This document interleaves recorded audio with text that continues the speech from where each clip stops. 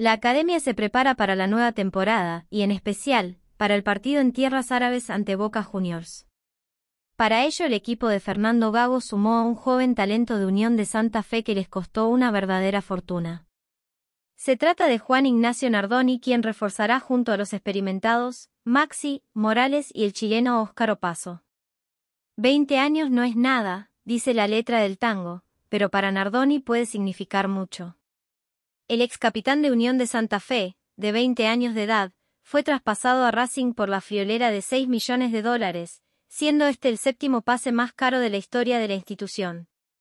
Detrás quedaron los caros fichajes de Johan Carbonero y Ricky Centurión, que nació en la institución pero con a lo largo del tiempo fue recomprado al italiano Genoa.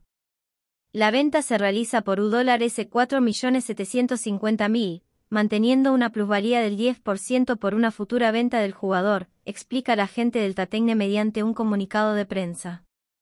El resto del dinero que completará los 6 millones de la moneda estadounidense que serán pagados por la gente del Club de Avellaneda corresponderán a impuestos y comisiones.